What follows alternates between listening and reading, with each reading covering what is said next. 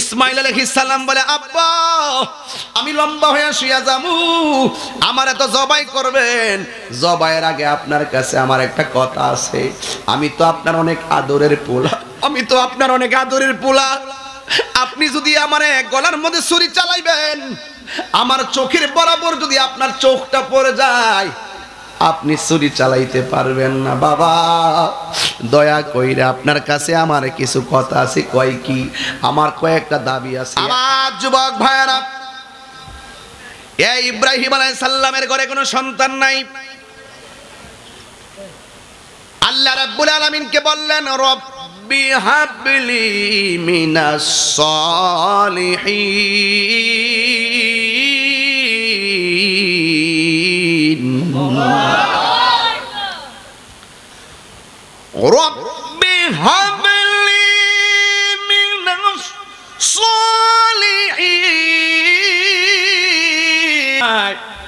এই সন্তান হয়েছে ইব্রাহিম সাল্লামের আরেকটা স্ত্রী, যার নাম হলো হাজেরা।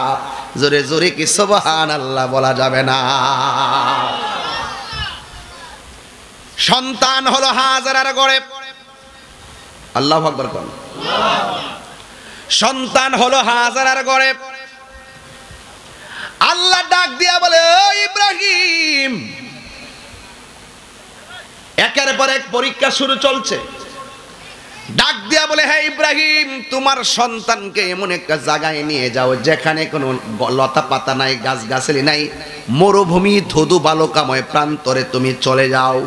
জোরে জোরে কি আল্লাহ আকবার বলা যাবে না? খুব মনোযোগ। এরপরে ইব্রাহিম আলাইহিস সালাতু ওয়াস সালাম হাজারাকে নিয়ে, শিশু বাচ্চাকে নিয়ে তিনি চলে গেল। এমন একটা জায়গায় যে জায়গাটা গেল আরবের মরুভূমি বালুকাময় প্রান্তর। সেখানে যাওয়ার পরে মস্কের ভিতরে শুধুমাত্র পানি ছিল, হালকা কিছু শুকনা খাবার ছিল। এই খেজুরের খাবারগুলো নিয়ে তিনি সেখানে গেলেন। যাওয়ার পরে আল্লাহর পক্ষ থেকে আরেকটা পরীক্ষা নাজিল হলো। ডাক দিয়া বলে হয় ইব্রাহিম, তোমার সন্তান পরিবার বর্গ নিয়ে এই জায়গার মধ্যে থাকতে পারবে না। তুমি এখান থেকে একা চলে যাও। ইব্রাহিম আলাইহিস সালাম ডাক দিয়া বলে, "এ হাজেরা, তোমরা এই জায়গার মধ্যে থাকবে। যেই পানিগুলো আছে পান করবে, যেই শুকনা খাবার আছে সেইগুলো পান করবে। আর আমি তোমাদেরকে রেখে চলে যাচ্ছি। হাজরা ডাক দিয়ে বলে, হে আমার স্বামী, আপনি যে চলে যাচ্ছেন, আপনি আমাকে কোথায় রেখে যাচ্ছেন? এখানে কোনো মানুষ নাই। জনমানবহীন মরুভূমি, মধু, মরু বালুকাময় প্রান্তর। এই জায়গার ভিতরে আমি একলা থাকব। আপনি আমাকে এখানে নিয়ে এসেছেন, এখান থেকে আমাকে রেখে চলে যাবেন। আপনি কি আপনার ইচ্ছায় যাচ্ছেন নাকি আল্লাহর ইচ্ছায় যাচ্ছেন? আপনি তো আল্লাহর ইচ্ছায় এই মরুভূমিতে আসছেন। এখন মরুভূমিতে যদি আপনি চলে যাবেন, আপনি কি আমাকে রেখে যাবেন? এটা কি আল্লাহর নির্দেশে নাকি আপনার ইচ্ছায়? ইব্রাহিম আলাইহি সালাম বলেন, আমাকে একজন নির্দেশ করেছেন, জবান খুলে বলুন তিনি কে?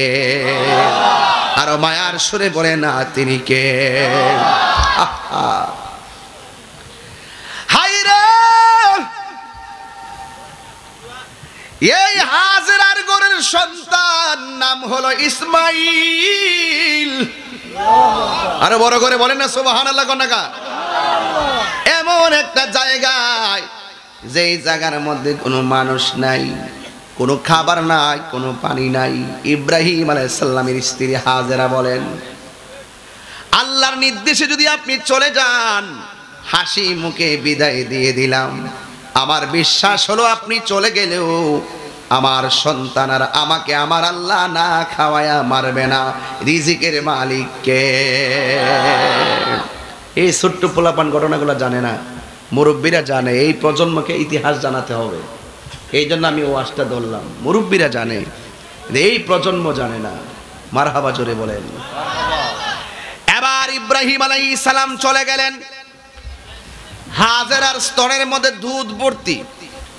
সন্তান দুধ পান করে, কিন্তু পর্যাপ্ত খাবার না থাকার কারণে হাজারার স্তনের দুধ শুকায়া গেছে, মস্কের পানিগুলা শুকায়া গেছে, প্রয়োজনীয় খাবারগুলা শেষ হয়ে গেছে। সন্তান খাবারের জন্য কান্দে।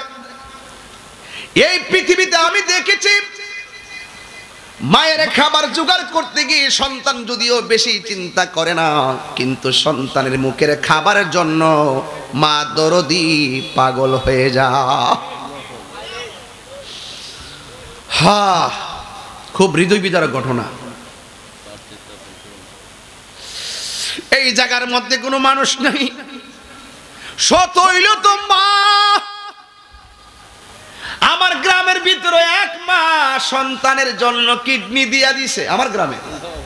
আমি এতদিন মনে করতাম এই এই বিষয়গুলো বুঝি কাল্পনিক। না না, সন্তানের জন্য মা কিডনি দিয়া দিছে, এক বছর হয় নাই। মায়ের স্তনের মধ্যে দুধ নাই, মস্কের মধ্যে পানি নাই, শুকনা খাবার শেষ। বাচ্চা তো আর শুকনা খাবার খেতে পারে না। মা যখন দেখলেন বুকের মধ্যে দুধ নাই, সন্তান মরুভূমির বালুর মধ্যে সন্তান কানতেছে গলা শুকায়া গেছে। হঠাৎ করে মা দেখলেন একটা পাহাড়। ওই পাহাড়ের মধ্যে, ওই পাহাড়ের মধ্যে ওই সন্তানকে পানি দেওয়ার জন্য দেখতেছি পাহাড়ের মধ্যে চিকচিক করতেছে, ঝর্ণার পানি। জরি ভাই। ঝর্ণার পানি চিকচিক করে, মা দুঃখিনী, সন্তানের জন্য দৌড়াইয়া পাহাড়টাতে গেছে। এই পাহাড়টা হলো আল্লাহর যত দুনিয়াতে নিদর্শন আছে, একটা নিদর্শন।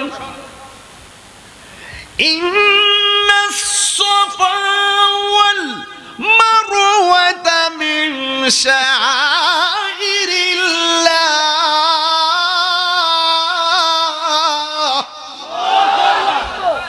আয় হায় হায় রে পাহাড় পাহাড়ের নাম সাফা। যায়া দেখতেছেন পানি চিকচিক করে, যায়া দেখে কোনো পানি নাই। রৌদ্রের কারণে পাহাড়ের উপরে বালুগুলা চিকচিক করছে, মনে হচ্ছে ঝর্ণার পানি ঝরে। আসলে গিয়ে দেখে ঝর্ণার পানি না, সেটা হলো বালু। সেখানে যাইয়া পানি না পাইয়া মা হতাশ হয়ে গেল। সন্তান প্রখর রোদের ভিতরে পানির জন্য কান্দে। আর একটা পাহাড় দেখলেন যে পাহাড়ের নাম হলো মারোয়া। হাজেরা সাফা পাহাড় থেকে মারুয়া পাহাড়ে একটা দৌড় মারলেন। যায়া দেখে সেই জায়গার মধ্যে পানি নাই। ওই পাহাড় থেকে আবার এই পাহাড় সাফার দিকে তাকালেন। দেখতেছেন পানি চিকচিক করে ঝর্ণার মতো উঠতেছে। আল্লাহর লীলা খেলা বোঝা যায় না। আবার দৌড়াইয়া পার সাফা পাহাড়ে আসলেন। আমি যখন হজের মধ্যে গেলাম, আমার আম্মার হাতে দরাইয়া দরাইয়া সাফা থেকে মারোয়া মারোয়া থেকে সাফা আমি দৌড়েছি। মাকে ধৈরা ধৈরা তাওয়াফ করেছি, সাফা মারোয়া দৌড়েছি। কত শান্তি কত শান্তি।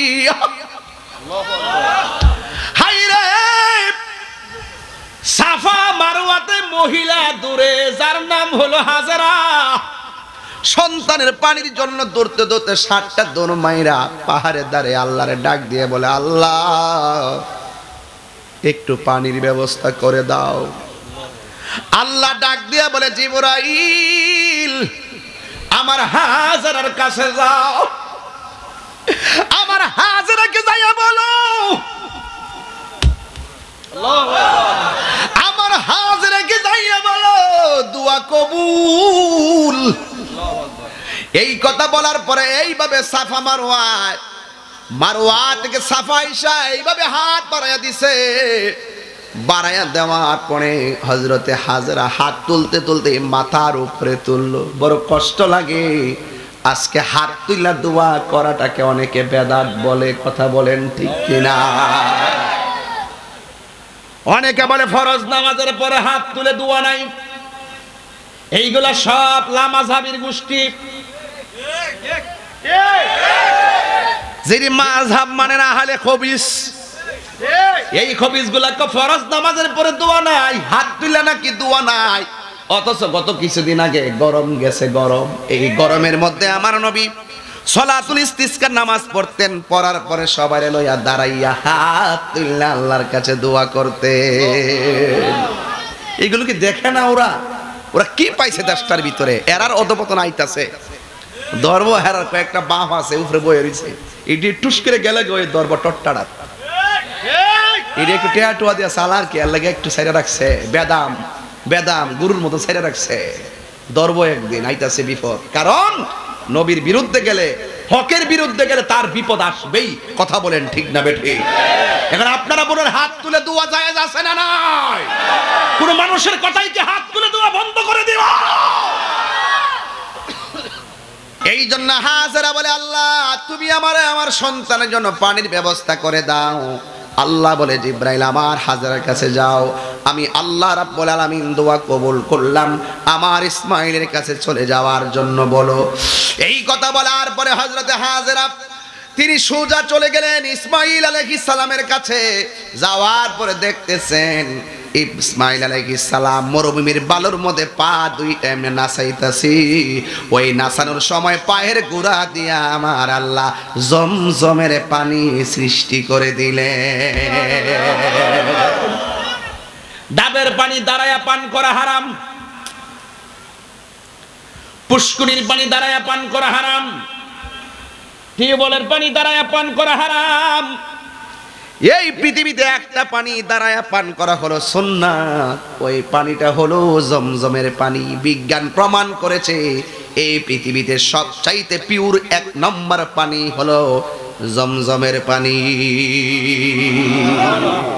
আল্লাহ আকবার কর না। এই ছোট্ট পোলাবার ইতিহাস জানাইতেছে এরা এরপরে হাজারা দেখলেন পানি উঠতেছে। এমন ভাবে পানি উঠতেছে যেন বন্যা হয়ে যাবে, ছেলে মনে হয় পানিতে বেসে যাবে। কি উঠে না মা হাজারাত ডান দিক দিয়ে পানি বাম দেয়, বাম দিকে এমন পানি বের হয়েছে, বাম দিক দিয়ে পানি বের দেয়, আবার সামনে যায়, সামনে দেয়, পিছনে যায়, পিছন দিকে দেয় বাদ অতিক্রম করে পানিগুলা চলে যায়। বন্ধুরে, আমার গুড়িগ্রামের বন্ধুরা, এবার হজরতে হাজরা চতুর্দিক দিয়া বানটা যখন দিলেন, এরপরে কোনোভাবে পানি থামে না। হঠাৎ করে হাজরা বলে, ও পানি, থামো, সাথে সাথে পানি থেমে গেছে। আরে ওই দিন যদি হাজরা পানির থাম না বলতো। আমার আল্লাহ সারাটা পৃথিবী জমজমের পানি দিয়া সাজাইতো। আরও আল্লাহ এই জন্য যুবক, এই জমজমের পানি যারা পান করে, তাদের রোগ বিমার ভালো হয়ে যায়, মুর্দা কলব জিন্দা হয়ে যায়, সিনাটা পরিষ্কার হয়ে যায়। এই এই জমজমের পানির সাথে তত্ত্বে প্রমাণ করে হাউজে কাউসারের যে ওয়াশিরিল্লাযিনা আমানু ওয়া আমিলু সালিহাতি আন্না লাহুম জান্নাতিন তাজরি মিন তাহতিহাল আনহার। ওই নহরের সাথে এই নহরের সম্পৃক্ততা আছে না না এরপরে হজরতে হাজরা সন্তান নিয়ে চলতেছে। যেই মাত্র ইসমাইল আলী সাল্লাম মরুভূমির বালুকাময় প্রান্তরে কোন রকম ভাবে চলাফেরা করতে শিখলেন নয় বছর অথবা বারো বছর মানে চলাফেরার বয়স হয়েছে। ইব্রাহিম আলাইহিস সালাম যেখানে চলে গেছে, ওই সময় ওই জায়গার মধ্যে স্বপ্নে দেখেছে।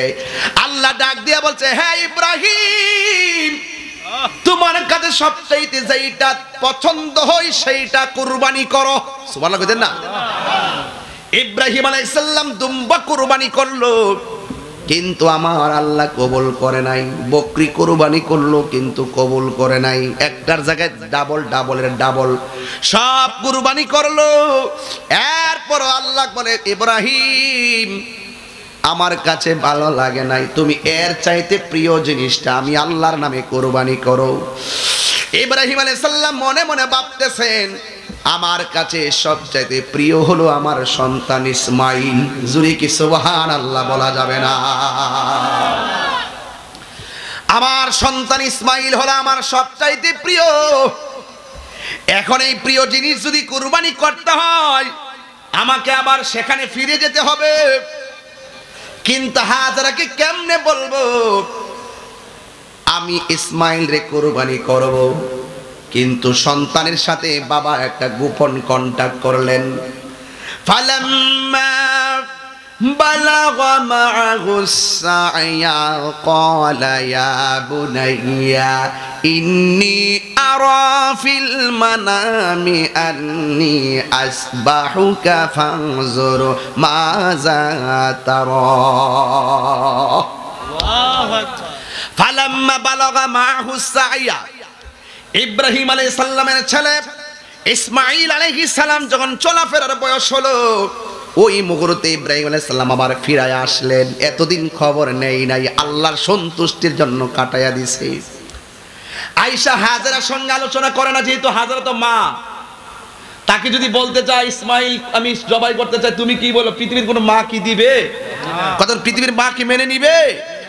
এই জন্য ইব্রাহিম সাল্লাম সন্তানদের ডাক দিয়া বলে, ইয়া বুনাইয়া, হে ছেলে ইন্নি আরাফিল মানামি, অবশ্যই আমি স্বপ্নে দেখেছি, আন্নি অবশ্যই আমি আসবাহুক আমি তোমার জবাই করেছি, ফাংজুর এই ব্যাপারে তোমার মতামত কি? জুরে কি সুবহান আল্লাহ বলা যাবে না।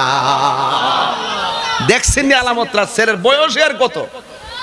চলো চলাফেরার বয়স হইছে, এ ইব্রাহিম হ্যাঁ ইসমাইল, আমি আজকে, আমি স্বপ্নে দেখেছি আমি তোমাকে জবাই করেছি। তারা, এই ব্যাপারে তোমার অভিমত কি? যেমন বাবা, তেমন সন্তান। ডাক দিয়া বলা, কলা, ইয়া আবাতিফ আল হে বাবা, আপনি তাই করেন। যা আপনি আদিষ্ট হয়েছেন সাতাজিদুনি অবশ্যই আপনি আমাকে পাবেন। ইনশা আল্লাহ মিনাস সাবিরিন আপনি আমাকে ধৈর্যশীলদের অন্তর্ভুক্ত পাবেন। আল্লাহর সন্তুষ্টির জন্য আমি নিজে কুরবানি হতে রাজি আছি। আরও বড় করে বলেন না সুবাহান আল্লাহ গন্না হায় হায় ছেলে রাজি হয়ে গেছে। এখন ইব্রাহিম আলাইসাল্লাম হাজরাকে ডাক দিয়া বলে, হাজরা, আমার সন্তানটাকে একটু সাজাইয়া দাও। আমি একটা বড় লোকের বাড়িতে দাওয়াত খেতে যাব। জোরে কি সুবহান আল্লাহ বলা যাবে না? সুন্দর করে গোসল দিল। খুব দামি কথা বলতেছি, রাত্র বেশি তো, একটু অস্থির লাগবে। কিন্তু যদি কোট করে বাড়িতে নিতে পারেন, এই কুরবানি মজা পাবেন। কুরবানির পশুর গলার থেকে রক্ত বের হওয়ার আগে নিজের ভেতরে একটা পশু নামক অহংকার আর আমিত্ব নামক পশু আছে, এই পশুটাকে আগে জবাই করতে হবে। তাইলে আপনার কুরবানি কবুল হবে, কথা বলেন ঠিক কিনা? তাইলে কুরবানি শিক্ষা পাবেন, নাইলে শিক্ষা পাবেন না। এলোমেলো মনে হবে, গুস্ত কাবে লেগে বলে যাবেন গিয়া। ঠিক কিনা বলেন? এরপরে ডাক দিয়ে সাজাইয়া দাও। হাজিরা এমন সুন্দর করে সাজাইয়া দিল। সুন্দর করে সাজাইয়া দেওয়ার পর রওয়ানা হয়ে গেলেন, ঘর থেকে বের হয়ে গেলেন। ওই মুহূর্তে শয়তান হাজারের কাছে আসছে, হাজেরা, তুমি কোথায় সন্তান পাঠাইছো? তোমার সন্তান তো তোমার স্বামী জবাই করে ফালাইবে। এবার ডাক দিয়ে বলে, শয়তান, দূর হ দূর হ দূর হ। এই কথা বলার পরে, চা, এই কথা বলার পরে শয়তান সেই জায়গার মধ্যে ফেল হয়ে গেছে। এরপরে চলে গেছে ইসমাইল আলাইহিস সালামের কাছে। যাইয়া বলতেছি, ইসমাইল তুমি কোথায় যাও? তোমার বাবা তো তোমার জবাই কইরা ফেলাইবে। ইব্রাহিম আলাইহিস সালামের ছেলে হাতের মধ্যে পাথর নিয়ে শয়তানের কপালে মারছে। এরপরে আবার তারে বলছে, তুমি কোথায় যাচ্ছ? তোমার বাবা তো তোমার জবাই করে ফেলাইবে। আবার পাথর নিয়ে আবার মারছে। এইভাবে সাতবার কঙ্কর মারছে। এখনও হজ করতে গেলে সাতবার কঙ্কর মারা লাগে কি লাগে না? কঙ্কর মারা লাগে কি লাগে না? এটা শয়তানরে খেয়াল করে মারে। আমিও যাইয়া দৌড়াই দৌড়ে মারে এসেছি শয়তানটা কপালটার উপরে কথা কন ঠিক না বেঠি? এই যুবক, এবার ইব্রাহিম আলাইহিস সালামের ছেলে ইসমাইলের কাছে ফেল। নীতি নীতি সন্তানকে মিনার প্রান্তরে নিল। ইব্রাহিম আলাইহিস সালামের অন্তরে একজনের সন্তুষ্টি জবানটা খুলে বলুন তিনি কে? বন্ধুরে, আমার ও, যুবকের দল, এবার সন্তানকে নিয়ে মিনায় চলে গেল। যাইয়া সন্তানরে বলতেছে, বাবা, তুমি রাজি নি? কয়ে হে আমি রাজি। তুমি প্রস্তুত নি? কয়ে হে প্রস্তুত। ঠিক আছে, লম্বা হইয়া শুইয়া যাও। ইসমাইল সালাম বলে, আব্বা, আমি লম্বা হইয়া শুইয়া যামু। আমার এত জবাই করবেন। জবাইয়ের আগে আপনার কাছে আমার একটা কথা আছে। আমি তো আপনার অনেক আদরের পোলা। আমি তো আপনার অনেক আদরের পোলা।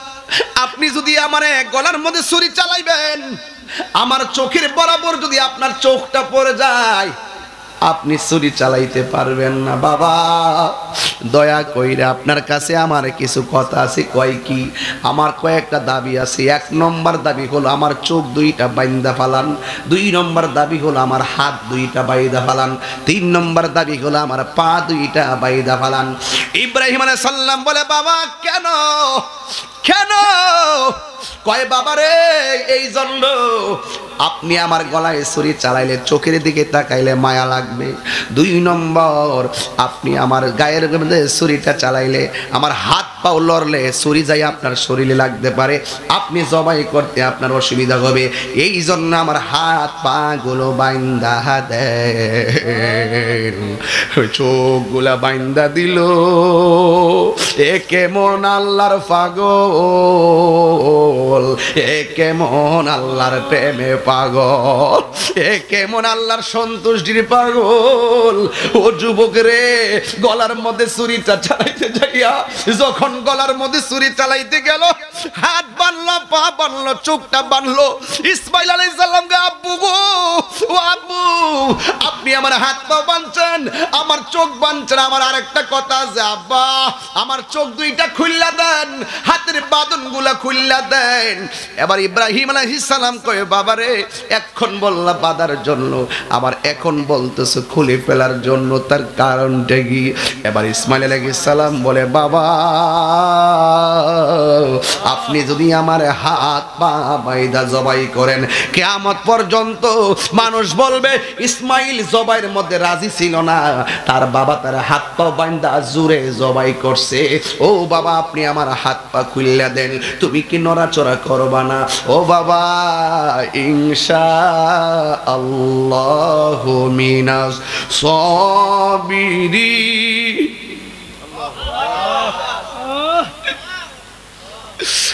নারে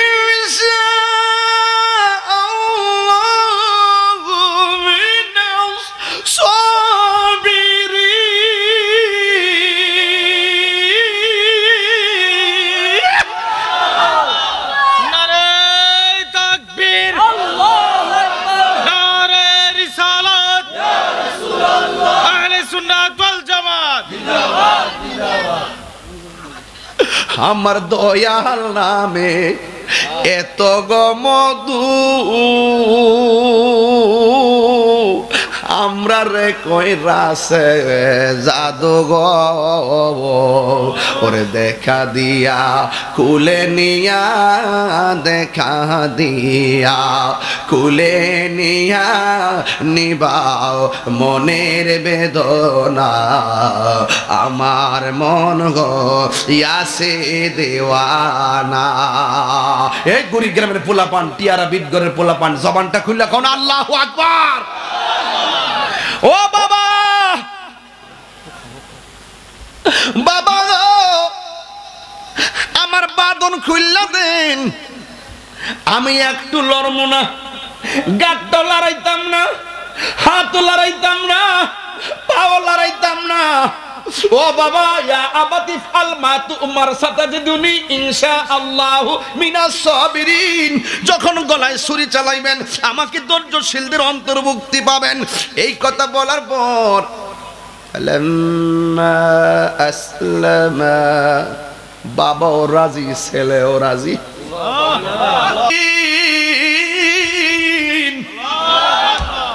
বাবাও রাজি, ছেলেও রাজি। সন্তান ডাক দিকে, আব্বা, আমি রাজি।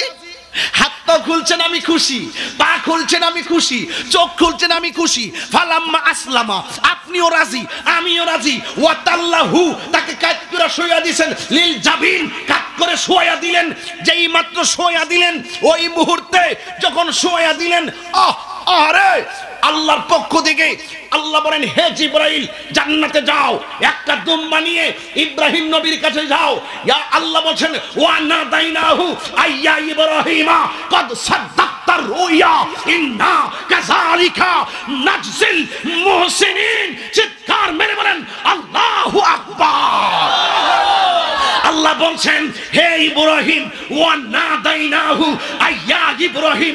আল্লাহ ডাক দিয়ে বলছেন, হে ইব্রাহিম, কদ সাদ্দাক্তা, তুমি সত্য স্বপ্ন বাস্তবায়ন করেছ।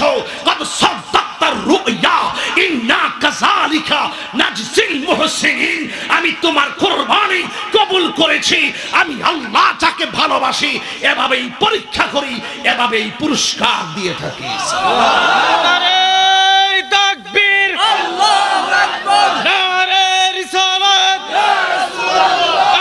সুন্নাতুল জামাত। আল্লামা পীর মুফতি গিয়াসউদ্দিন তাহিরি সাহেব। আয় হায়। আয় হায়। ফালাম্মা আসলামা ওয়া লিল জাবিন ওয়া আইয়া ইব্রাহিম কদ রুইয়া। ইন্না কাযালিকা মুহসিনিন। এ যুবক, একনিষ্ঠ যারা প্রেমিক যারা তাকুয়াবান যারা, মুমেন যারা, আশেক যারা, পরীক্ষা তো হবেই, পরীক্ষা তো হবেই, পরীক্ষার মাঝে একদম স্ট্রংলি আপনি ধৈর্যের সেতু হয়ে থাকবেন। আপনাকে বিজয়ের পতাকা আল্লাহ দান করবেন। আল্লাহ বলছেন হ্যাঁ জিব্রাইল, দুম্বাটা নিয়ে আয়। এই দিক দিয়ে ইব্রাহিম আলাইহিস সালাতু ওয়াস সালাম তার সন্তানের গলায় ছুরি চালায়। ছুরি আর গলায় ঢুকে না। এ ছুরি, তুই ঢুকিস না কেন? ছুরি জবাব দে।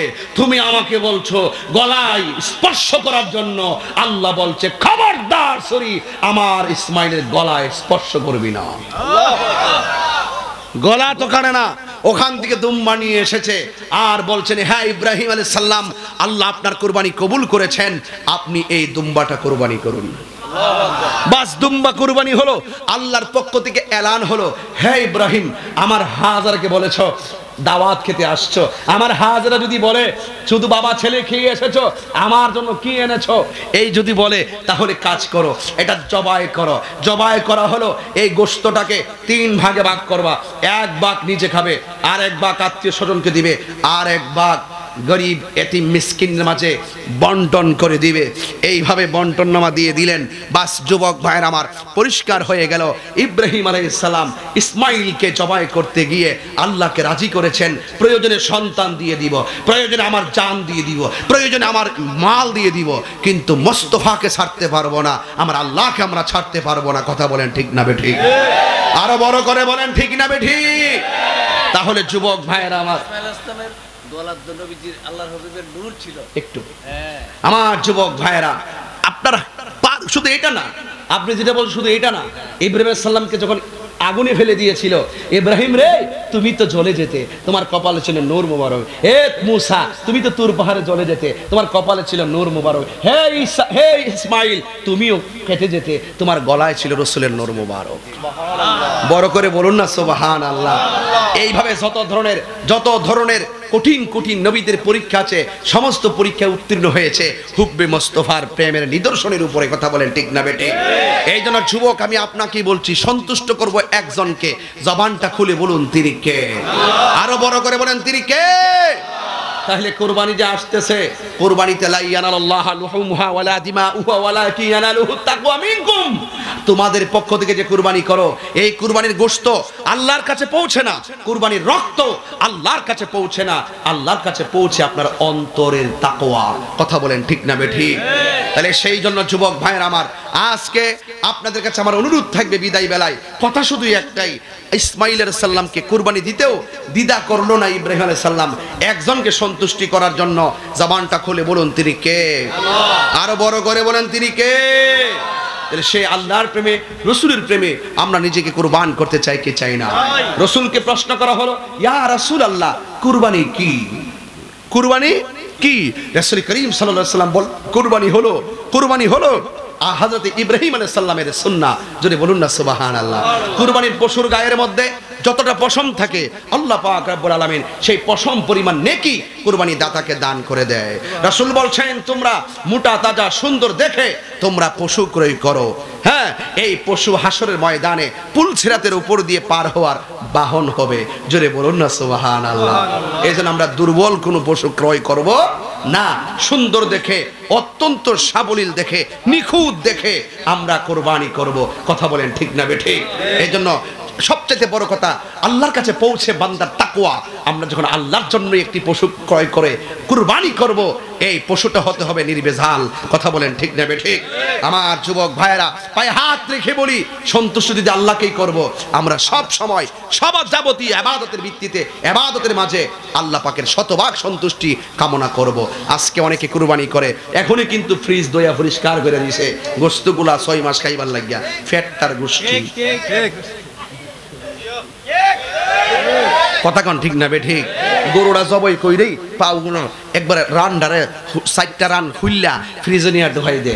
এরপরে এরপরে রান্ডা করলে গোস্ত বানাইবার সময় একবারে কি করে জানেন? গোস্তটা বানাইবার সময়। গরমে ওয়াশ করে, বেজাল। কই রে, ফ্যানটা? ও, এইটা। কেমনে লাগবো সিলেলে লাগে? এর তো মাঝে মাঝে না সুবান লাগে, আমি তো কন্টিনিউ গলাটা বাড়িতে আছি এখন কিছু সাইজ করতাম নি? গোস্তটা যখন বানা, আড্ডিডি আর গুড়াগার আড্ডিডি আর কিছু ওই যে, ওই ইয়াদের বাইরা। টাসকেল ওই, আর এটার কিতে গদ গদাটা গদ গদ। গদ গদ গদ গদ। এই গদার মধ্যে কুবা, কুবানের পরে কিছু কাটকুট লেগেতে হ্যাঁ? এই মিশ্রিত গোস্তগুলো হাড্ডির লোকে মিলাইয়া দুইটা, তিনটা টুকরা কোন রকম মিলাইয়া ওই দরজার সামনে একটা শাড়ির মধ্যে একটা বলের মধ্যে তৈরি হয়। ওই যখন ইস্তিম মিসকিনরা আসে, এইগুলা দিয়া কোন রকম ভাবে বিদায় করে দেয়।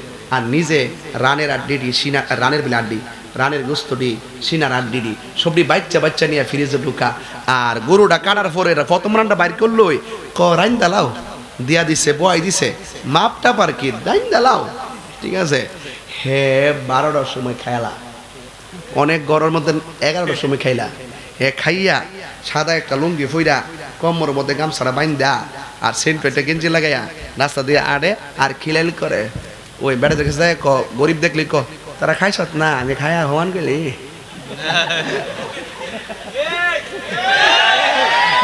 আবার স্পিডও খা। স্পিডও খা। কেমনে রে খা? এতিমের মুখে আর গরিবের মুখে যেন গোস্তর গ্রান্ডা লাগে। তুই যদি গরিব হইতে বুঝলি, পেটের খিদা কি জিনিস? আপনি যদি গরিব হইতেন আর আপনি যদি মানুষের দরজায় দরজায় এক টুকরা গোস্তের জন্য যাইতেন, সেদিন বুঝতেন গোস্ত খাওয়ার স্বাদের যে আকাঙ্ক্ষা কত প্রবল। আপনি কেমনে মুখের মধ্যে খাবারটা দশটায় দিয়ে দিলেন আর গরিবের জন্য আড্ডি উড্ডি গুড়াগাড়া রাখলেন? আপনি তো সুষম বন্টন নীতির আলোকে জাকাতও দিতে জানেন না গুস্ত বন্টন করতে জানেন না। কথা বলেন ঠিক না বেঠিক এই ফ্রিজের মধ্যে ইচ্ছা মতে নিয়া ফলিতিন দিয়া বাক্স করে বইরা তৈরা হে, আট মাস, নয় মাস খাইবার লাগিয়া এমন কিছু লোক সমাজে আছে না নাই? এই বুইয়া বাড়ির গরুটা এক লাখ বিশ দা কিনছে।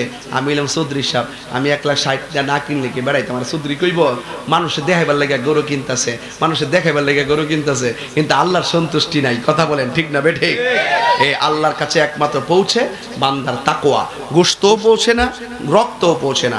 এই জন্য কোরবানির গোস্ত কোরবানির পশুর গলার মধ্যে ছুরিটা চালাইবার আগে আপনার ভিতরে যে আমিত্ব, অহংকার, রিয়া, গিবত, হিংসা, সবগুলোর আগে জবাই কইরা আল্লাহর সন্তুষ্টির জন্য জবাই করতে হবে। কথা বলেন ঠিক না বেঠিক আরও বড় করে বলেন ঠিক কি না আপনার ছেলে মেয়ে মেয়ে থাকলে মেয়ের বাড়িতে গোস্ত পাঠাবেন। সে কুরবানি দিলেও পাঠাবেন। সে অহংকার করে বলবে, আমার বাবার বাড়ি থেকে এসেছে। আমাদের এই এই- বন্টনগুলো এখন হারিয়ে গেছে। সে বলে কি, আমার আত্মীয়ত্ব কুরবানি তো। আত্মীয়কেও আপনি দিতে পারবেন। ইচ্ছে করলে তো আপনি সবটাই খেতে পারবেন। কিন্তু আপনার এই এত সুন্দর আনন্দ, ঈদের ভাগ আপনি একাগ্রস্ত খাবেন কেন? সবাইকে নিয়ে খাবেন। এটার নামই হলো ঈদ। কথা বলেন ঠিক না বেঠিক